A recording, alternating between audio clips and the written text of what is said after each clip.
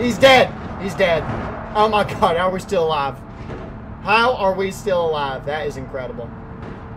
I actually don't know. I feel like Lightning McQueen right now. Crap. Oh my god. We're gonna get out of this tunnel. Oh my god, I'm scared. I don't know how we're still here. Get off.